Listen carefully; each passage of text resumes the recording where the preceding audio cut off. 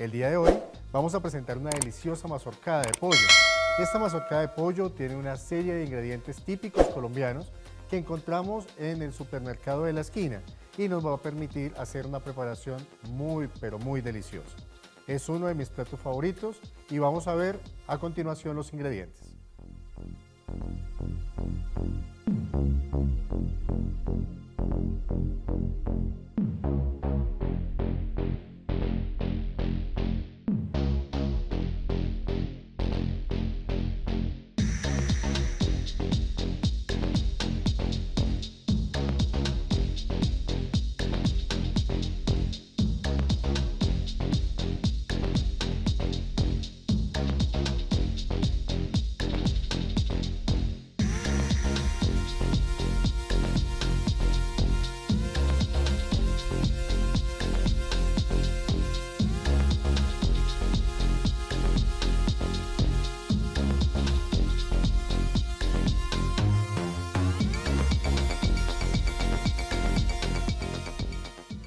Nuevamente Eduardo Rincón con ustedes. No olviden visitarnos por Instagram y Facebook en Gastronomía del Bolsillo. Mi número personal 317-642-1378. A continuación, cualquier tipo de necesidad gastronómica o asesoría, con el mayor de los gustos estamos para ayudarlos. Expertos especializados al servicio de su necesidad. A continuación, vamos a iniciar nuestra preparación de mazorcada de pollo. Entonces, tomamos la mazorca tierna previamente precocida y la adicionamos sobre un sartén totalmente caliente. Si ustedes se dan cuenta, utilizamos un sartén convencional, tradicional. Un sartén de casa que no tenga problema, si es en teflón mejor. Y si no, pues simplemente vamos dándole un movimiento y un buen engrasado para que no se vaya a pegar de nuestro sartén. Entonces, a continuación, adicionamos nuestra mazorca, que es el ingrediente fundamental y el que necesitamos que esté durante más tiempo a temperatura mayor. ¿Por qué? Porque ella, entre más dorada, es más crujiente y entre más crujiente, más sabrosa. Tenemos ya previamente listo el chorizo previamente picado, tenemos nuestro pollo previamente desmechado, totalmente condimentado con unos trozos de cebolla más que suficientes y nuestros jamones que a continuación vamos a trabajar. Si se dan cuenta, son jamones totalmente tradicionales, jamón de cerdo, jamón de cordero y jamón de pollo ahumado. Estos tres jamones los vamos a mezclar en una preparación solamente para tener una diferencia de texturas y de sabor. Tomamos un cuchillito de oficio, partimos en unos pequeños cuadros para que hagan un contraste perfecto con la preparación total. Tengan en cuenta como estamos trabajando con aceite en base en una fritura, es importante tener serias precauciones en el momento de realizar este tipo de cocciones. Con eso evitamos algún tipo de, de accidente riesgos. Ya tenemos la mazorca previamente dorada, muy sabrosa.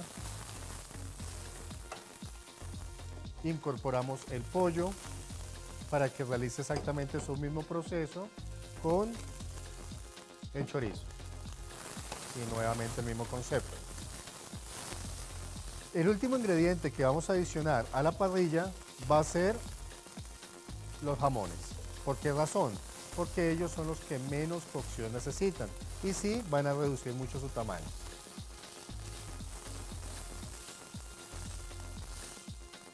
Dejamos saltear absolutamente todos los ingredientes, esparcimos en la plancha para que ella pueda tomar temperatura y dorar absolutamente en todos los ingredientes. Damos aproximadamente unos 4 minutos a 4 minutos y medio en este eh, movimiento dentro de la paila o dentro del sartén para que ellos totalmente doren, crujienten y terminen de hacer sus cocciones en el tema del chorizo y el tema del pollo. De igual manera, se están incorporando todos los ingredientes a la preparación, mezclando sus sabores, sus texturas y sus colores.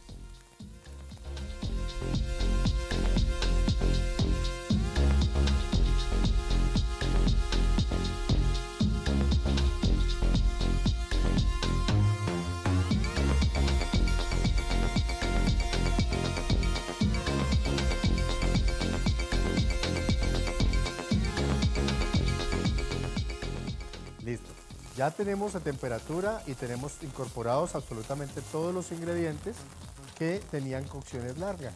Adicionamos las cocciones cortas como lo es el jamón, de salteo rápido, pero lo que no queremos es que nuestro paladar quede totalmente seco. Entonces usamos de esta manera la crema de leche. Incorporamos crema de leche a la preparación para que ella nos aporte la jugosidad que nosotros necesitamos al momento de servir la mazorcada. Esta mazorcada, si queremos también, podemos bañarla de un queso doble crema o un tipo mozzarella totalmente fundido en la parte de encima y en algunos casos podemos usar hasta la misma papa cabello de ángel. Inmediatamente nos va a proporcionar otra textura adicional y nos va a dar un poco más de rendimiento. Ya tenemos una deliciosa preparación de mazorcada.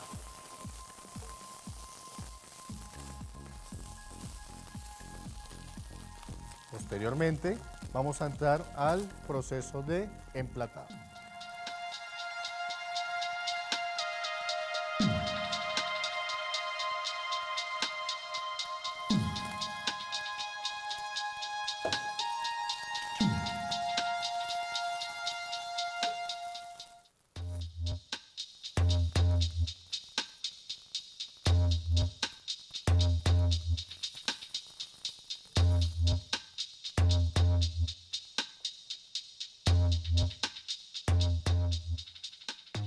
Y excelentemente bien acompañado con un par de pancitos tipo baguette si desean o un fugazza si ustedes lo quieren así.